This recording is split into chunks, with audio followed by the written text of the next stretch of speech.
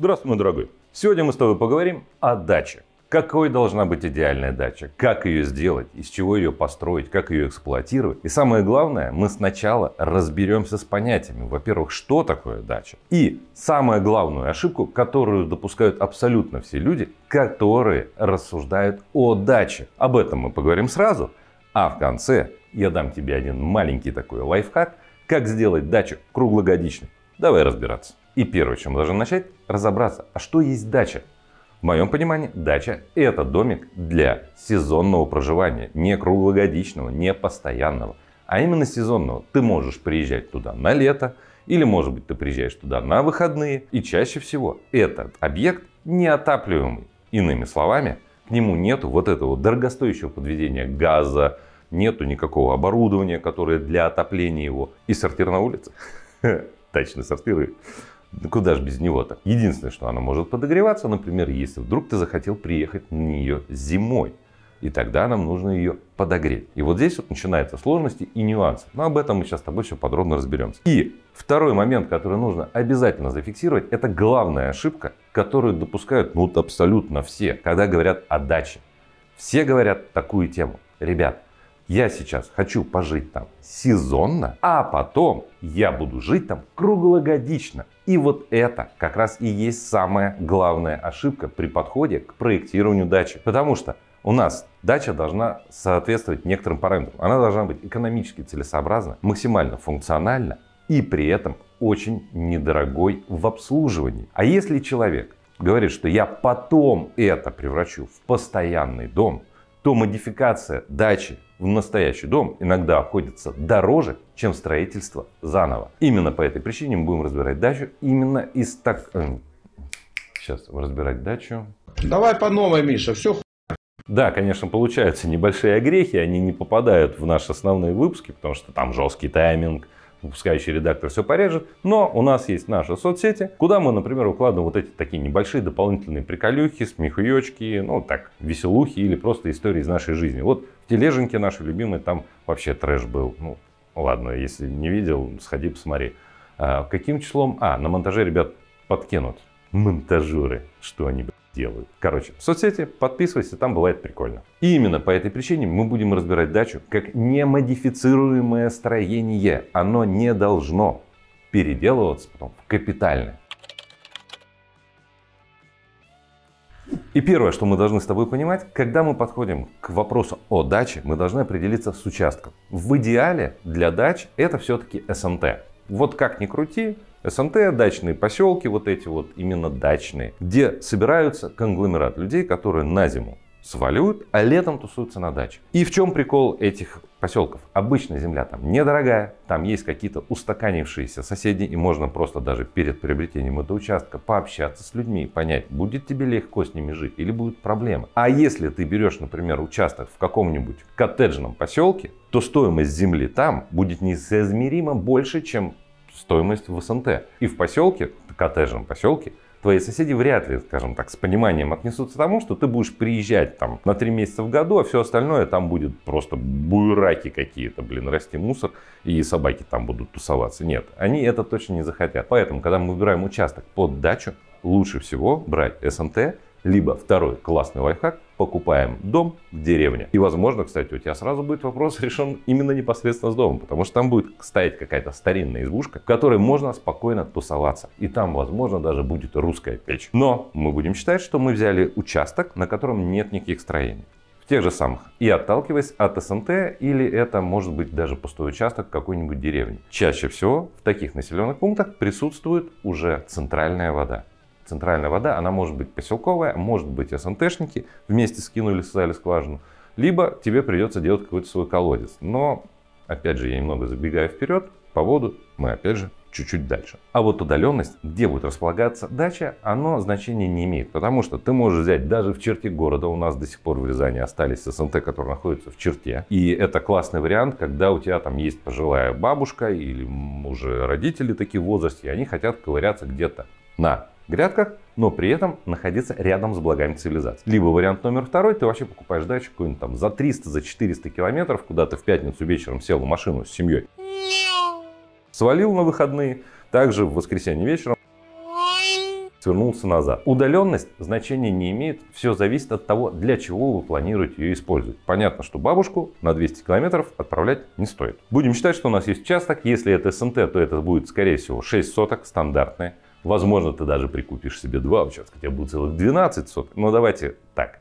Если ты не планируешь выращивать там картошку, сажать там плодовые деревья, то тебе эта территория не нужна. Скорее всего, дача тебе нужна для того, чтобы там жарить шашлычки, ходить на какую-нибудь речку, гулять там с детьми по лесу, там, возможно, с друзьями тусоваться, какую-нибудь там мини-баньку поставить. Это место тусовки. Большая территория тебе не нужна. По факту тебе нужен вот этот условный домик. Опять же, к нему же мангальная зона, беседка, все. Но если у тебя есть перспектива, что ты когда-нибудь лет через 10 эту дачу будешь превращать в капитальный дом, тогда к выбору участка придется подойти немножко поответственнее. Если тебе нужно прям по подбирать конкретно участок под твой будущий дом, на котором ты пока поставишь дачу, то, пожалуйста, вот тебе в помощь выпуск, иди туда, там я все это подробно разбирал, сейчас касаться этого не будем.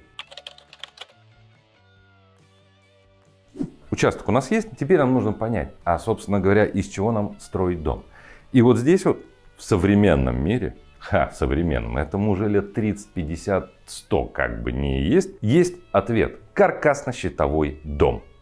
То, что у нас в народе называют каркасником, но это каркасно-щитовой дом, где деревянные стойки, какой-то утеплитель, какая-то обшивка. И при этом есть еще некоторые параметры. Снутри и снаружи этот дом отделывают лучше всего деревом. Например, там планкеном или вагонкой, или чем-то у нас еще там деревянным там, блокхаусом. Вариантов много. По сути говоря, отделка под деревяшку. Почему под дерево? Потому что дерево прекрасно переживает вопросы, когда здание размораживается, замораживается, и ему от этого, в принципе, ни, ни горячо, ни холодно. Странно. Дерево ни горячо, ни холодно. Если же мы используем какие-то другие технологии, например, там какие-то блоки, какие-то кирпичи, это сразу приводит к тому, что строение становится капитальным, уже сразу требует фундаменты, надежные, тяжелые, подкаменные дома. И это сразу вылетает из вопроса экономичности. Поэтому мы убираем этот параметр. Такие дома, как из бревна, бруса, э, не клееного бруса, а профилированного бруса, можно в принципе тоже рассмотреть но при одном условии. Они уже стоят готовые, отстоявшиеся, когда тебе привезят, привозят их, собирают. Хотя зачем это надо? Вот выпуск вышел недавно про страдания с деревянным домом. Поэтому деревяшка на самом деле тоже не подходит. Это не тот класс. Деревяшки все-таки под уже такие капитальные дома. По факту мы остановимся безальтернативно каркасно-щитовые. Почему не СИП? СИП говно. На самом деле СИП тоже возможен переобулся в воздухе, прям сальто мортали такой. Да, СИП-дома тоже возможно, потому что они также относятся к классу каркасно-щитовых. И да, то, что там внутри утеплитель пенопласт, ну что ж поделать, он ну, сгорит, так не сгниет. Тоже норм. Перед возведением дома мы должны определиться с его параметрами. Во-первых, это должно быть маленькое строение. 30-40 метров вот так за глаза, возможно даже 20-25. Почему такие параметры? Потому что у нас нужна одна большая комната, по сути говоря, кухня-гостиная. Возможно, одна-две микроспальни. И, да и собственно все. В идеале еще, конечно, внутри санузел. Там есть определенные засады, о них мы поговорим, когда коснемся инженерки. В идеале выделяем помещение под санузел, оно нам потом пригодится. Поэтому санузел, большая кухня-гостиная, одна-две спальни. В принципе, если мы строим совсем маленький домик, то нам достаточно просто одной спальни. А, просто одной гостиной. В принципе, оговорился. Там будет определенное наполнение, которое позволит и туситься, и ночевать, и быть в комфортности. Следующий параметр, который нужно обязательно упомянуть. Дача должна быть одноэтажная. Никаких двухэтажных, никаких мансард. Ребята, это все мини-строение. Почему не надо делать мансарды? Потому что если мы делаем мансарду, то тогда нам туда по-любому нужно делать очень эффективное утепление, это менее 20 сантиметров, а это уже вылетает за бюджеты, это уже не требуется. Плюс на втором этаже летом в каркасном доме без кондиционера жить невозможно. А если домик будет одноэтажный, под двухскатный четырехскатной односкатной крышей с утепленным перекрытием хотя бы в 10 сантиметров минваты, то там будет комфортно и даже в самую жару. Ну, что, окна открыл, все продувается. Да, для тех, кто любитель ЛСТК и так далее, это точно так же подходит в эту же копилочку. Потому что, напоминаю, ЛСТК профиля это только скелет. По сути говоря, тот же самый каркас, тот же самый утеплитель, та же самая обшивка. Все будет присутствовать точно так же. И да, их можно точно так же туда же и применять. Тоже для дач. Какой должен быть фундамент под это строение? Как бы сейчас странно не звучало, важнее подготовка, не фундамент. Подготовка заключается в следующем. Мы берем, срезаем плодородный грунт, укладываем туда геотекстиль и создаем песчано-гравийную смесь. Хотя бы, ключевое слово, хотя бы 20 сантиметров. В идеале 30-40. Это основание, которое не пучинит, его не двигает, вода спокойно через него проходит, и даже если зимой туда попала вода и подмерзла, за счет гравия оно не так сильно движется. И на этом основании мы делаем фундамент, фундамент, а, опору под дом. И здесь самый простой вообще такой вариант решения, это просто блоки ФБС. Причем их даже можно не ФБС, можно просто любые бетонные блоки по периметру, под углы раскладываешь там по центр. Этого достаточно. По факту здание не соединено с землей. Если ты, конечно, хочешь покапитальнее а, и подороже, то тогда используем винтовые сваи. Они туда подходят идеально. Приехали, быстро закрутили, там не нужно каких-то безумных глубин. И да, под них можно, кстати, не делать гравийно-песчаную подготовку, но я все равно рекомендую под любое, даже временное строение, делать гравийно-песчаную подготовку. Именно потому, что его не поднимает. Но тогда сначала крутим сваи, а потом делаем гравийно-песчаную засыпку. И да, сваи эти винтовые тогда подольше поживут. А если просто их в грунт, да еще и не убирая плодородку, да, они скорродируют очень быстро. Но это мы как-нибудь расскажем в выпуске про винтовые сваи. Если когда-нибудь его запишем. Скорее всего, никогда. Вот вся моя любовь к винтовым сваям в одном предложении. С основанием разобрались. Далее, на это основание, которое всего лишь поднимает дом на 20-30 сантиметров от уровня земли, ключевое слово 20-30, может быть 40, но это не суть важно. Главное, у тебя под домом возникает возможность проветривания. Да, конечно, туда будут забиваться всякие мышки, собачки и прочие животные, но здесь вопрос, чем ты снаружи этот цоколь, ну, вот висящий цоколь защитишь. В принципе, может даже сеткой рабицей чтобы ну, хотя бы собаки туда не лазили. Мышки пролезут где угодно. Так вот, самое главное, что под домом проветривается. И это тоже очень важно. Далее, так как технология каркасно-щитовая достаточно простая, внизу обвязочный брус, стойки, утеплитель, пара ветрозащита снутри, снаружи, зашивка, опять же, понаружи, CSP панелями изнутри можно просто сразу зашивать вагонкой. А снаружи по CSP панелям или USB панелям в принципе пофигу. Какая-то еще должна быть дополнительная защита. Через какую-нибудь мембрану, условно назовем ее мембрану, просто даже геотекстиль, я знаю, народ делает, мы набиваем дерево, которое просто снаружи красим. А, про утеплитель забыл сказать, да? Что утеплитель в дачный домик достаточно 10 сантиметров для ЦФО. На самом деле это достаточно даже для, там, для южных регионов, тем более достаточно. Для северных, в принципе, тоже подойдет. Поговорим про крышу. Прежде чем говорить про крышу, мы должны обязательно отсечь чердак от кровли. И там должен быть утеплитель. Ребят, если денег нету, покупаем керамзит, засыпаем. Хотя бы сантиметров в 40. Да ладно, хотя бы сантиметров 20. Если есть там возможность финансы, то тогда утепляем десяткой миноватой. Блин, ладно, хер с ним, даже пенопластом. Но к пенопласту будьте готовы, что у вас там будут жить мышки. Поэтому все-таки лучше миноват. Тоже что и в стенах, тоже и на потолку. И чуть не забыл, так как снизу нас продувает утепление, ветрозащита, снизу должна быть точно так же в конструкции пирога пола, по которому будем ходить. Там все просто. Лаги кидаем с шагом 60 сантиметров, Набиваем контробрешетку, кладем мембрану, так, где какая у нас внизу это ветрозащита, сверху у нас паропроницаемая, которая влагу, если что, пропускает внутрь дома. Нижнюю часть зашиваем сеткой любой, чтобы мыши не лезли, или закрываем чем-то, чем угодно, что есть. Сверху кидаем ходовые доски. Это обычная сосновая вот такая доска, максимально простая, все несет, все держит. Ее покрываем лаком, не маслом, лаком. Стены можешь маслом покрыть а вот пол лаком. Если интересно почему, пиши в комментариях, я отвечу на этот вопрос, если интересно. Скорее всего, никому не интересно. И стены мы разобрали, крыша. Крыша, как я уже говорил, там одна, двух, четырехскатная, но четыре, я опять же напоминаю, что вот как вот в этом выпуске мы говорили, что четыре ската – это уже проблема. Для недорогого дома дачи нужна двухскаточка или одна скаточка.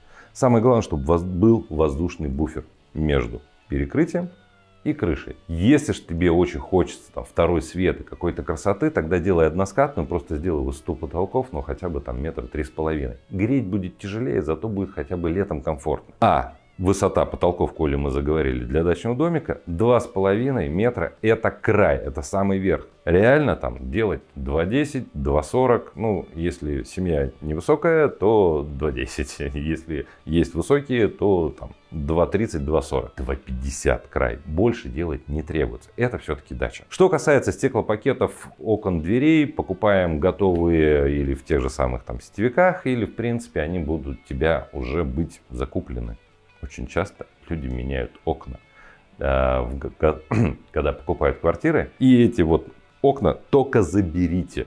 Ты приезжаешь и забираешь эти окна и вставляешь его в свой домик. Ну, классный лайфхак, считай на халяву. Не нужно это удорожание. Домик на самом деле не является капитальным. И он для сезонного проживания. И если даже ты туда приехал зимой, ты сможешь его даже прогреть. Чем прогреть? Хм, вот здесь мы и приходим. А что должно быть внутри? Теперь подходим к самой главной боли. Какие источники энергии у нас есть и какие инженеры коммуникации должны быть в доме? Во-первых, внутри должны быть электрические радиаторы. Больше не надо. Только электрику. Никаких теплых полов мы не делаем, никакое водяное отопление. Все это дорого и не нужно. Только электрические радиаторы. Масляные. Хорошая штука, не боятся замерзания. После того, как у нас есть вот это вот отопление временное, что еще классно сделать? Надо в этом доме предусмотреть место под печку-буржуйку. Ладно, шучу, печка-буржуйка не подойдет. Это печь, она же камин. При этом важный фактор, мы должны обязательно отталкиваться от того, что у нее есть функция нагрева помещения. Это там специально образом воздуховоды, что не соприкасаясь с открытым огнем, нагревается воздух и протапливает помещение. Сейчас для тех, кто это хочет представить, это вот балериан так называемый, вот печь, которая отапливает промышленные здания. Вот одного балериана, например, на 400 квадратных метров хватает. И да, его даже некоторые умудряются подцеплять к системам отопления, но это уже сложно, это нам не надо. Нам нужен какой-нибудь такой мини-балерьянчик, в котором горит красивый огонь, который нагревает это помещение, на котором можно, например, скипятить чайник и все, атмосфера, кайф, класс. И даже летом, когда бывает, условно говоря, похолодание, заморозки, можно ее растопить и там спокойно семьей чилить у этой вот буржуйки. Вот это там должно быть обязательно. Причем масляные радиаторы можно даже не ставить. Вот, буржуйка есть, поэтому, когда у тебя одна комната, ей вот этой печки достаточно, чтобы там тусить. Под печку, единственное забыл сказать, нужно обязательно сделать свой небольшой отдельный усиленный такой фундамент или ставить ее место пересечения лак, чтобы она просто, ну, давление не задавало избыточно. Все-таки бывает печка тяжелая. Хотя ты, скорее всего, поставишь легенькую печку. Если это дом замораживаемый, точнее говоря, его хм, промораживают, то мы должны сделать следующую вещь. У нас ввод воды на участок происходит или в кессоне, или в каком-то колодце, где он защищен от промерзания. А заведение в дом идет по летней схеме. Что значит по летней? Это значит по осени ты сливаешь из системы воду, и все. Минус этого варианта, что если ты приедешь зимой, ну вот хрен тебе получится вот это все дело запустить, чтобы оно работало. Придется жить на привозной воде. И по этой же причине получится, что сортир в доме ты сделать не можешь. Надо делать уличную будку. Точно так же, кстати, рядом с этим уличным сортиром можно сделать и летний душ совершенно спокойно, вообще без проблем. Это сейчас достаточно простые решения, которые ты вот просто выезжаешь за город, посмотри вот крупные рынки, которые располагаются за пределы крупных городов, там они стоят уже готовые. Ты просто берешь и ставишь и пользуешь. Плюс какой-нибудь э, геоколлектор, не коллектор, э, это солнечные панели есть, а есть солнечные коллекторы. Ты можешь поставить один небольшой солнечный коллектор на душевую, и он тебе будет все лето нагревать воду, и ты к вечеру будешь мыться прям, может быть, даже и горячей водой. Но что делать, если хочется, чтобы дом был хотя бы чуть-чуть цивилизован, чтобы внутри был вот этот санузел, чтобы на кухне можно было пользоваться не вот за этого рукомойничка, куда ты воду заливаешь, а чтобы там нормальная текла вода. Здесь есть решение. Но тут нам необходимо вспомнить один интересный момент. Помнишь вот этот выпуск, где мы говорили гараж, в смысле про навесы мы рассказывали. И там я рассказывал, как сделать круглогодичную э, систему санузла. В принципе, про навесы, про гаражи ты можешь потом посмотреть. Давай я сейчас тебе здесь сейчас расскажу, как это делается. Ты выделяешь в своем домике, вот этом небольшой, пускай он даже 25 квадратных метров, от 3 до 5 квадратных метров. Причем 5 это даже овер до хера. Ты, в принципе, можешь сделать 3, 3,5 метра. Туда у тебя станет душевая, унитаз, раковина. Ничего не забыл?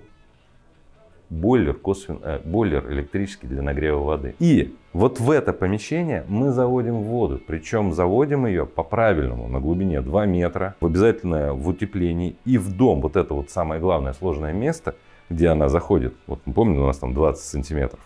Там делается такая коробка, хорошо утепленная, и заведение в дом непосредственно тоже должно быть максимально утеплено там 30-40 сантиметров утеплителя только отдай. Но это не проблема. И вот в этом помещении ты делаешь эффективную теплоизоляцию. Эффективную это что? Это не 20 сантиметров. Это вот если в минвате считать, это 30 сантиметров. Возможно, ты даже э, применишь туда фольгоизолы, чтобы они отражали тепло внутрь помещения. И вешаешь инфракрасную лампу. Пол плитка, сверху инфракрасник. Этого достаточно. Либо ты можешь как резерв повесить туда радиатор. И это такая, получается, герметичная капсула, мини-термос внутри дома, который даже если в СНТ в деревне вырубится электричество, оно все равно быстро не остынет.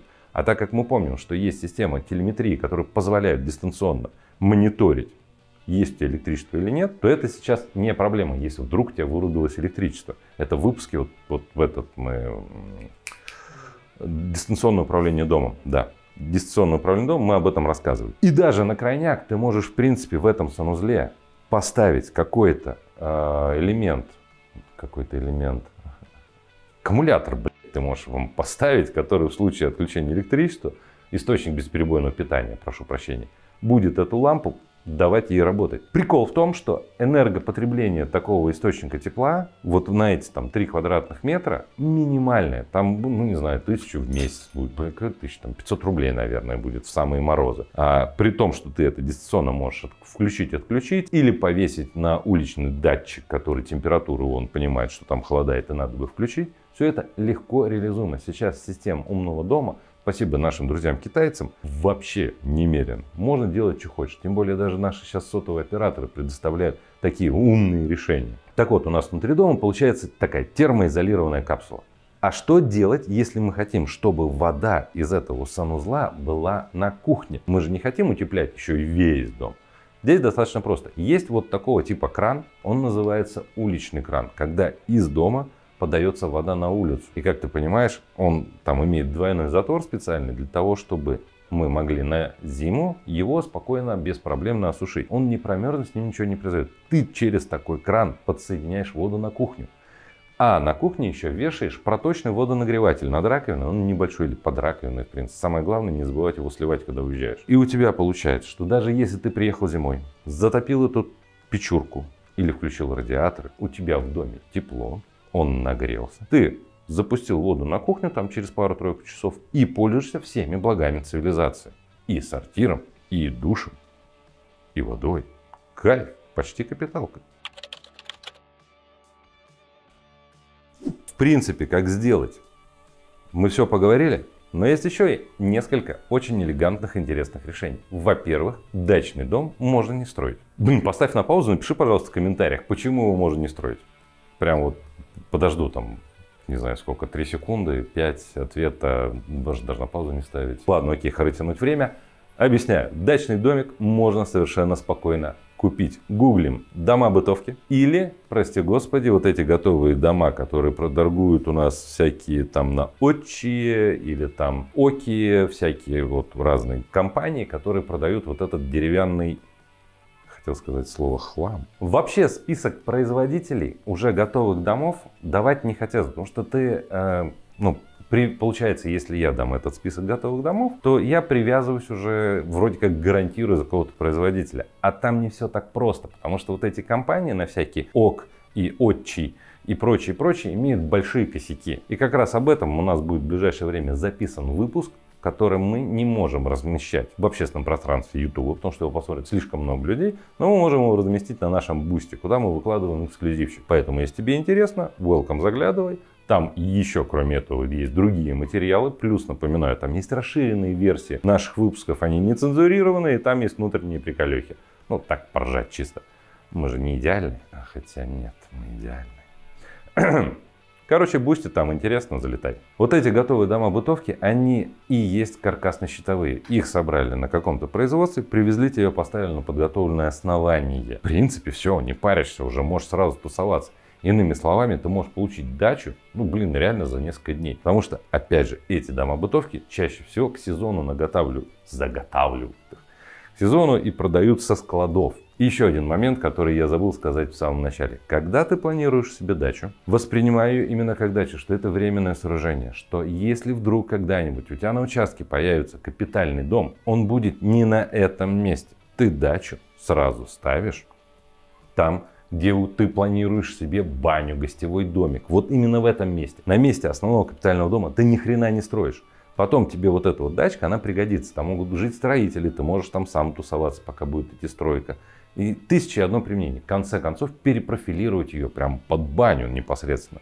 Что тоже, в принципе, вариант хороший. Самое главное, не ставь ее на месте капитального дома.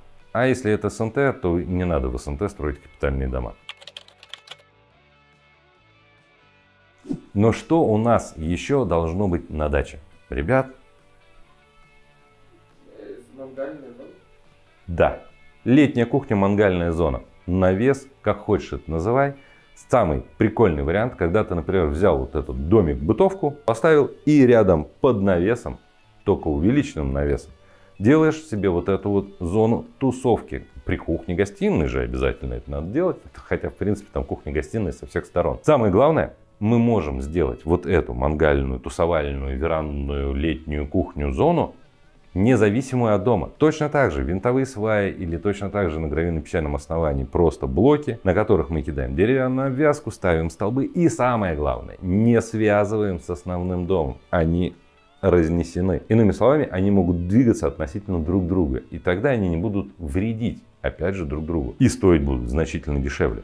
Поэтому поставили домик, пристегнули к ней веранду. Не надо оттаскивать от вот этой вот летней дачи куда-то далеко летнюю кухню, мангальную зону. Все пускай будет рядышком. И как обычно перед финальным выводом очень хочется поблагодарить наших замечательных зрителей, которые поддерживают нас не только лайком и комментарием, но и еще и донатом. Вот эти ребята поддерживают наш продакшн, потому что они точно знают, что все, что закидывается к нам в донаты, идет прямиком на производство больше нужного полезного контента. Нам тут опять какое-то оборудование ребята сказали надо покупать. Ну да ладно, фиг с ним. Если хочешь к ним присоединиться, вот, пожалуйста, форма донатов. Денежку, все во имя продакшена. И вот здесь вот, подводя итоги, все мы понимаем, как строить дачный домик, чтобы он был классный, удобный, каким параметром обладать. Возможно, я чего-то упустил, это можно задать вопрос в комментариях, может быть, мы расскажем об этом в каком-нибудь другом выпуске, ответим в чего, не суть важно. Самое главное, что мы должны понимать, когда строим себе дачу, и именно дачу, дачный домик, каркасно-щитовой, он должен быть сделан по принципу, чтобы его легко можно было разломать на и сжечь. Потому что через 10 лет использования он превратится в труху. И не надо вкладывать туда дорогие материалы, дорогие технологии. Он должен быть простой и доступный, экономически целесообразный. Не страдаем хуйней. А если ты мне не веришь, то, пожалуйста, вот этот выпуск про страдания самостройщика, боли страданий и две канистры бензина. Так вот, дача должна точно так же всегда иметь в запасе одну канистру бензина. На этой позитивной ноте, господа, обнял. Девчонки, муа, люблю, целую, до новых встреч. Что ты пришел страдать? Про две канистры слышал. Слушай, это была самая главная заготовка, которой я вот это все дачи вел.